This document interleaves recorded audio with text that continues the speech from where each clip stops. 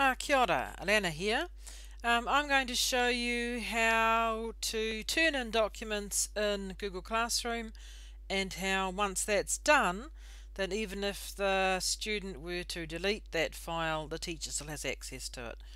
So on the left hand side of my screen I have myself signed in as a teacher and on the right hand side of my screen I have myself signed in as student alpha.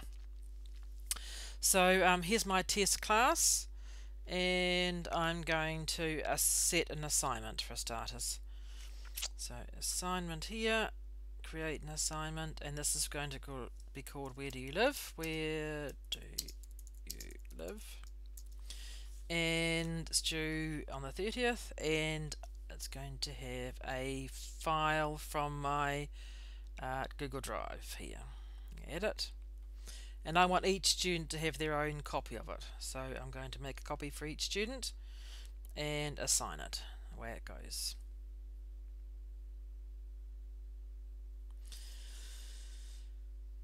Like lightning. We just wait over this side the student side for a moment.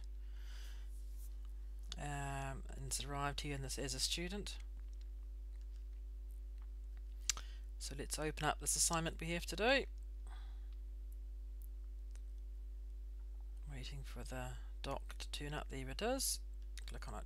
Notice that because I've had it uh, assigned to the students, um, it's named it with my name for me so I don't get them muddled up.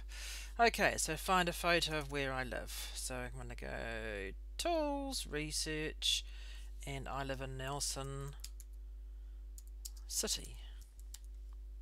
There we go, and I want a photo, so I'm going to just put on images.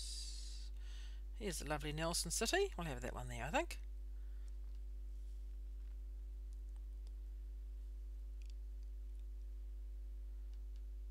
And so my work here is done.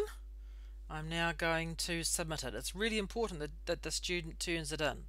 Otherwise the teacher won't have access to it. So we turn it in.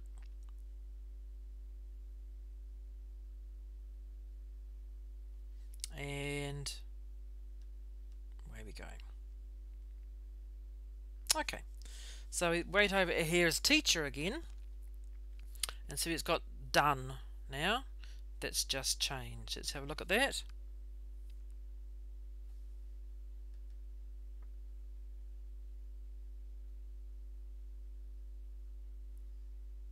Oh, down here, sorry.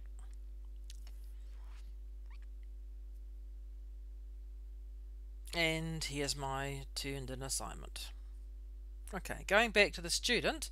So the student by mistake now um, deletes their work, say. You can see here the access to it has been denied. They don't they don't no longer have access to it. Um, if if they click here it is now like view only that's as much as they get.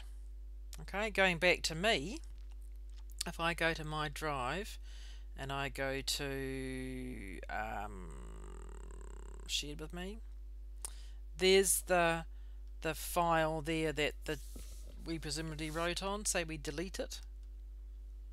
It's in there. It's, it's gone now. If we go to my drive and have a look at the classroom folder, um, it's it's not there. It's gone. Okay.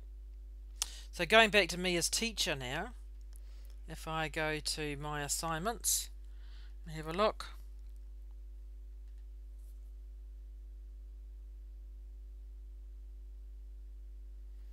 And the work is still there still named by the by the student. Okay does that make sense to people? Hopefully that has been useful for you